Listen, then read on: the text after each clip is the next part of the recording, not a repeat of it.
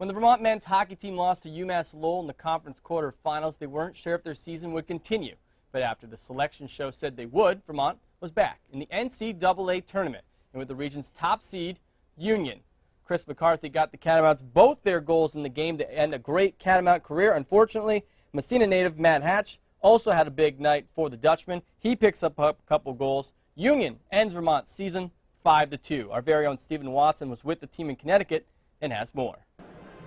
All season long, the Catamounts have lived and died by their special teams. Of the 13 goals they allowed this postseason, seven came on the special teams, including two power play goals and one shorthanded tally against Union.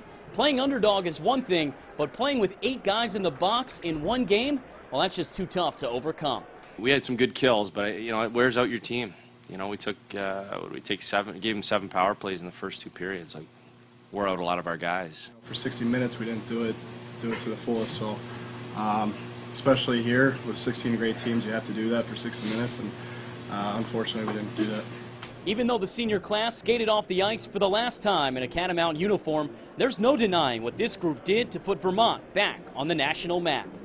Sucks to lose, and obviously we wanted to win a national championship like every other team in the country, but we're uh, we're really proud of uh, how we brought the program back, and uh, and we're proud of everybody on the team. Um, you know, just going through that adversity together and staying strong, and you know, you know, taking it head on, and you know, uh, addressing the changes that need to be made, and um, you know, getting back here, senior year, is just a, was a big accomplishment. The Catamounts close out the season with 20 wins, but how about this? In the three previous seasons, they won a combined 25 games.